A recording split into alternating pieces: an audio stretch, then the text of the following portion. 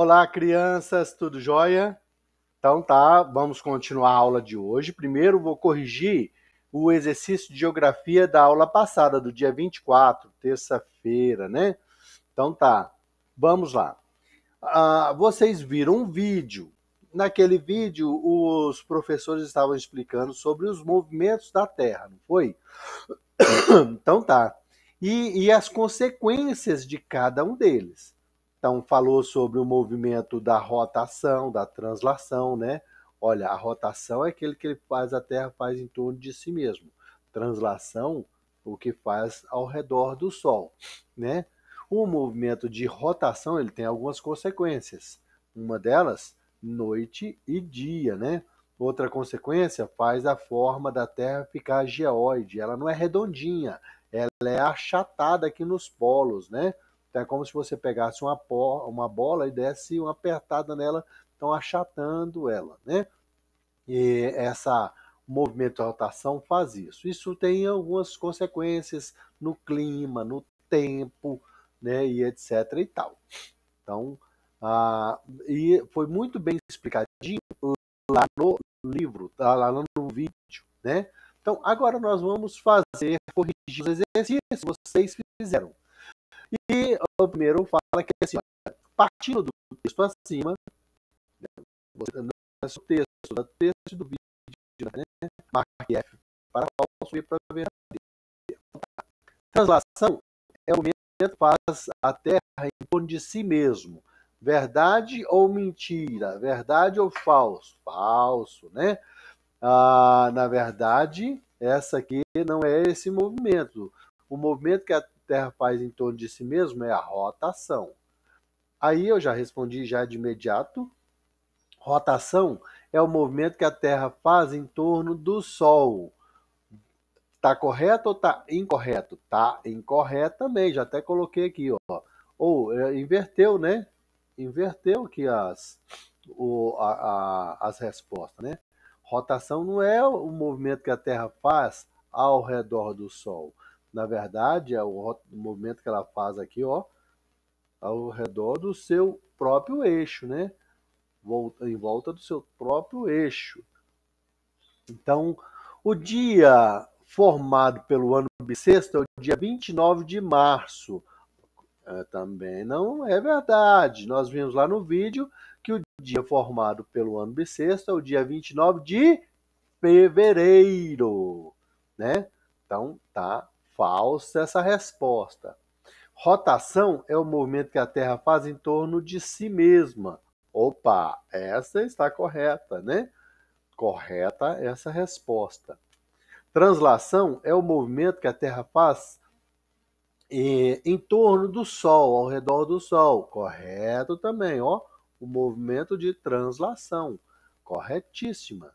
O ano bissexto tem 366 dias também está correto. Nós vimos que a soma daqueles minutinhos uh, de cada dia, né, aqueles pouquinho lá assim, quando chega de quatro em quatro anos, a gente tem um dia a mais. E isso tem uma consequência, que é o ano bissexto. Então, no ano bissexto, a gente tem o dia 29 de fevereiro, não é março, tá? É fevereiro. E aí, então, essa resposta está corretíssima, né? Então, podemos apresentar a Terra através de globos e mapas. Sim, nós vimos lá na, no videozinho que a gente pode fazer logo no começo do vídeo o professor falando isso, né? E a gente pode sim fazer essa representação, né? Desculpa. Então, tá correta essa resposta. Agora vamos lá. Coloque as palavras abaixo em ordem alfabética. O objetivo desse exercício era você ter mais familiaridades com os termos da geografia. E também, em português, você está utilizando a ordem alfabética, né? E aqui está a ordem alfabética. Bissexto, a gente começa com B, depois vem a, a, o D, né, de dia, depois vem o G, o M, o N, o R, o S e o T.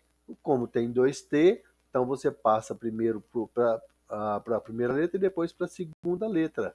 T com E vem antes de T com R. Então por isso que ficou terra e translação por último. Tá legal? E vamos lá na última questão. Adivinhe o que é?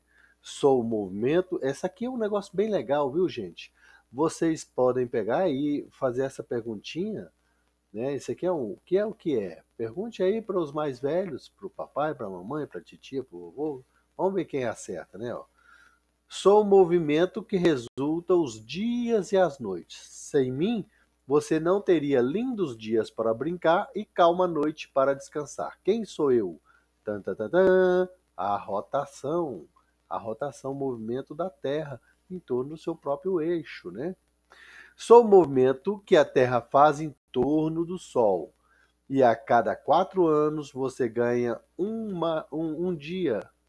Aqui não tem uma, não, eu errei. É um dia a mais no mês de fevereiro. Quem sou eu? Tan, tan, tan. Sou a translação, o movimento de translação que, a Terra faz ao redor do Sol. Eu represento a Terra de forma planificada, num plano, né? Ou seja, um, sou um sou um desenho da Terra em um grande papel. Quem sou eu? Tan, tan, tan, o mapa. Sou o mapa. Legal, né, gente? Então vamos agora passar aqui para o exercício uh, de ciência. E também nós vamos estar tá finalizando esse conteúdo. E eu fiz isso aí porque a gente está coincidindo é, temperatura, né, lá na matemática com aqui, né?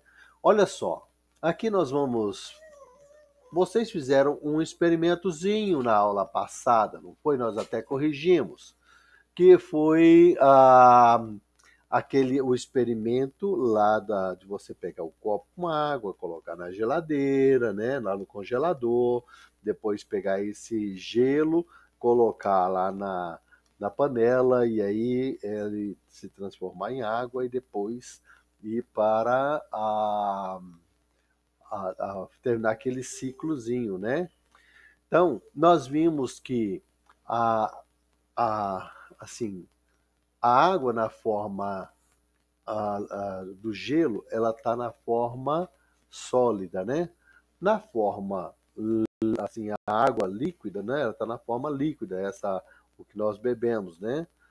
E depois, quando a gente pega ali assim, coloca a água na forma líquida, coloca na panela e coloca no fogo, então a gente, o que que acontece? Ela vira o gás, né? Gasosa.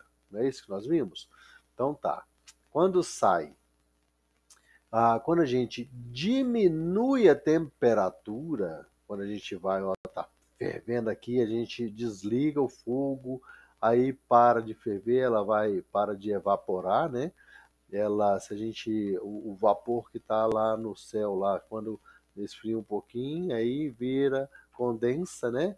Vira líquida novamente.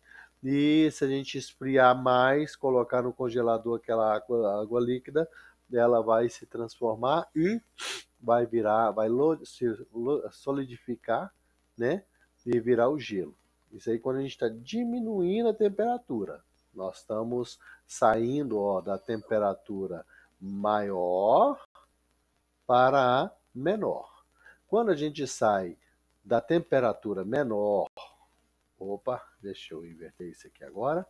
Quando a gente sai aqui da temperatura menor e vai para maior, a gente tem o caminho inverso. Então a gente tem aqui, ó, a gente sai do sólido, que é o gelo, vai para a liquefação, que a gente vai aqui para a, virar água, né? E depois a gente pega e transforma e vai para a forma gasosa, né? Então, vocês se lembram o nome dos termos? Muito bem. Então, é isso que está pedindo. Você lembra que tinha aquele gráficozinho? Então, nesse exercício, o que está se pedindo é exatamente isso aí, tá? Ó. Em que estado está o gelo na vasilha. Qual o estado disso aqui? Ele está sólido, líquido ou gasoso? E o copo na água? Está sólido, líquido ou gasoso? E o vapor que ah, desprende da água fervendo? Esse vaporzinho subindo aqui. Está no sólido, líquido ou gasoso. O gelo derreteu. A água passou do estado sólido, líquido ou gasoso para o estado sólido, líquido ou gasoso. Essa mudança se chama qual o nome que se dá quando passa da, do sólido para o líquido? Acabei de falar, né? Então, aqui vai a mesma coisa. Você vai respondendo da mesma forma, né? O que ele quer saber são aquelas os estados e qual é o nome dessa transformação de um estado para outro. Ó.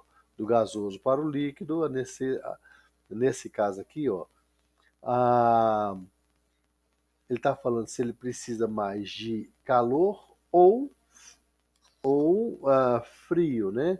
Você vai aumentar a temperatura ou diminuir a temperatura? Então, ó, do sólido para o líquido, a água necessita de mais calor ou menos calor? Do gasoso para o líquido, a água necessita de mais calor ou menos calor? Então, do líquido para o gasoso, ela precisa de mais calor ou menos calor? Então, você vai colocar mais calor, menos calor. E aí você vai respondendo aqui. Tá bom, gente? Então, faça esse exercício para a gente concluir essa parte do nosso conteúdo e passar para frente. Até a próxima aula. Um pouquinho eu vou corrigir também o livro A Prova Brasil. Um abraço. Tchau, gente.